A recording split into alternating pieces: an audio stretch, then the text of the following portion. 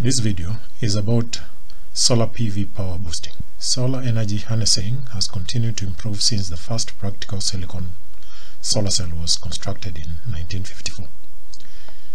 In 2013, the technology for manufacturing of polycrystalline panel went through a fundamental change, enabling the cost per watt to go down considerably.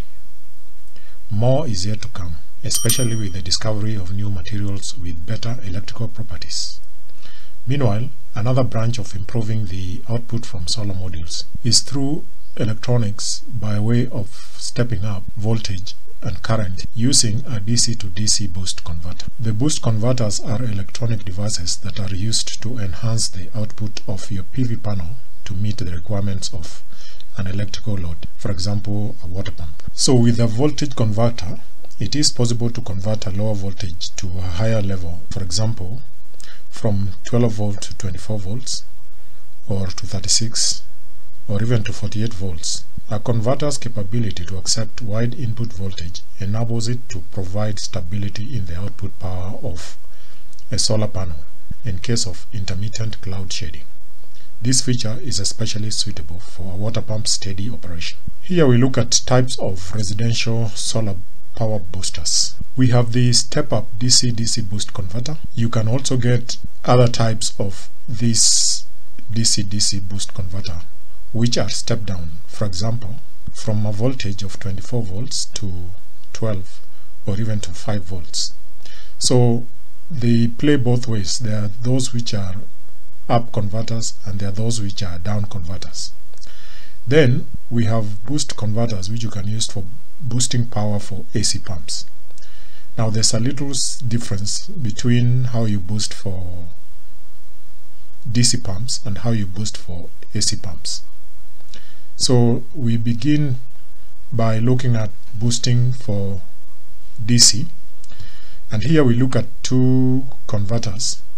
The first type this one is the one which will do maybe from 12 to 24 volts 36 or 48 volts. So depending on how it is uh, constructed then you can be able to achieve these levels. So you can see here I'm showing the input of this type 1 can be between 10 to 23 then output will get 24 volts. So meaning if you have a, your small panel of 12 volts you can put it in the input of this one then get out 24 volts. Then current in the order of 15 amps and power up to 360 watts and then there is conversion efficiency. This other type is sort of like a variable power supply. And uh, what happens is that if you put in your power in then you can be able to adjust with this knob and get your power so if you put in 65 uh, from 10 to 65 you vary it then you can vary the output between 12 to 120 volts. Then the current will change depending on the selection up to 12 amps. But we have the power output there which is 800 watts. So you see this one will give us a higher output compared to the first one and the advantage is that it is variable.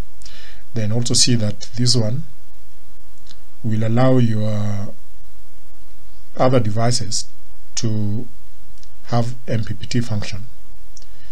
So like if we connect it to an inverter then the inverter can be able to get the maximum power point of the input power. So the benefits of using the up converter is that the price per watt of booster is lower than an additional panel. The inverters that we have just looked at, maybe the adjustable one is about say $35. The other one could be about 25, something like that. So you see, if we compare the power that you're getting out of the booster, it is much lower than the price of uh, an equivalent solar panel of the same output.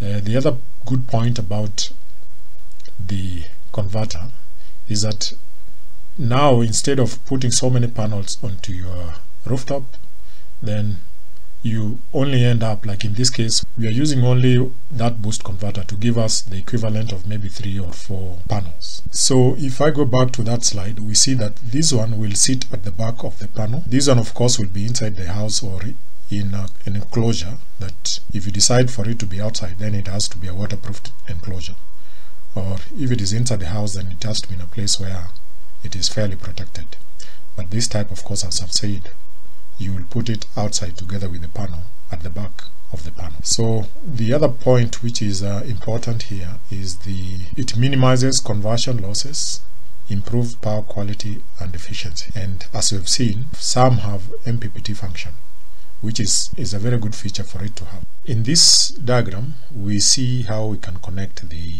boost converter in a PV system. So normally you will have your converter behind the solar panel then hook it up and connect it to a controller through a control panel there of course then uh, the controller would then run be could then be connected to a submersible pump a DC submersible pump then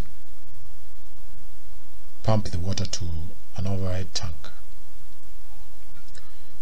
in this setup, I want us to see what kind of uh, pumps that we can select for use in this uh, format. On this page, we are on a website of a pump dealer.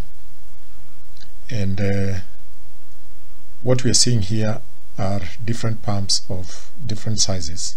So like you can see here, this is a pump that can be run by 24 volts 180 watts. So our system which had uh, 24 volts 360 watt can work with this one.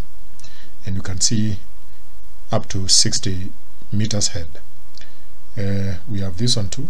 So we can operate from our system we can operate this particular mode here and this one here. I think those are the two categories that we can operate because the others are of a higher power than our system so, but being an example, then you can now choose the right boost converter to be able to give you the right power to meet your needs. So if we visit another manufacturer of uh, solar pumps, we see here uh, one of their pumps which comes complete with the its controller. And this pump particularly is it's hybrid. It can run both on AC and DC and we see that uh, if we give it 72 volts at 600 watts then we can be able to achieve uh, 3.5 meters cube per hour. Up to depth up to yes it can give you a head of up to 60 meters now you need to see the performance curve to know exactly which is the best point. But those are the parameters. So this particular one would be a suitable one for use with one of our boosters because we have one for 800 watts and then we can vary the voltage the way we want then be able to achieve that kind of uh, output. So now let us look at voltage boosting for AC pumps and uh, what we know is that at the present AC induction motor water pumps are in abundant supply and therefore relatively cheaper compared with their brushless DC counterparts of the same power. So the pumps that we've just seen were brushless DC pumps. Making an AC pump to run on solar is however relatively expensive until recently owing to the large input voltage required by an AC drive also known as variable frequency drive VFD. A voltage booster comes in handy to solve this problem. Also, some VFD may already have DC boosting functions in their circuitry. So here we look at uh, examples of uh, voltage boosters for AC pumps. What you notice with these uh, types of uh, converters is that when given say a small voltage input like this then the output is fairly large say up to 350 uh, for example this other one you give it between 20 so if so for example if you have to give it 24 volts then we would expect an output of up to 3 or 4 volts. Now the power there is uh, is the main defining factor because the power output will dictate what kind of pump we can run with it. So we move on to look at uh, the layout how we can use these boosters. And I take the first case. If we put it uh, in this system we can connect it to a panel of giving a VOC of say 37 and the output will be fed to a VFD and remember we had seen that uh, this thing is giving us up to 350 this other one is giving us up to 300 so the power we would feed it to a VFD taking between 80 to 400 volts. Then that VFD would be able now to run an AC submersible pump then be able to now to pump water to our overhead tank. So in this page we are looking at the website of one of the VFD manufacturers and uh, we have particularly selected this one PV580 and uh, if we look at this uh, PV580 it is a solar pump uh, inverter. And uh, the specification are as follows. It is rated for 0.6 kilowatt and with a maximum current input of 15 but then this thing can run a motor of 0.4 kilowatt. So the pump motor should be up to 0.4 kilowatt. Then we see the input that the maximum input you can give it is 450 volts and the voltage recommended is between 360 to 430 so but it can work from 100 to 400 so our boosters that we have there of 350 volts and 300 can comfortably work with this uh, inverter. So you see that starting range is as low as 80 volts. So this particular inverter will help us in running a submersible pump with a motor below 0.4 kilowatt. So we want to look at which submersible pump is this that we can run with this uh, inverter. So on this page we are on the page of uh, a manufacturer producing pumps uh, in South Africa. And uh, some of the pumps they have are of this type and I think this is the smallest pump so if we click on this then we'll be able to see its uh, datasheet so this is the performance curve of the pump that I opened. And we can see its performance curves. So the flow rate is here. And it comes and it peaks around here at 35 liters per minute right and uh, we go down. And this particular model that we are looking at you can see the power. It is a 0.37 or 0.5 HP and this is a performance delivery performance. So we see that uh, somewhere here you can see that you can achieve 2.4 at 44 meter head.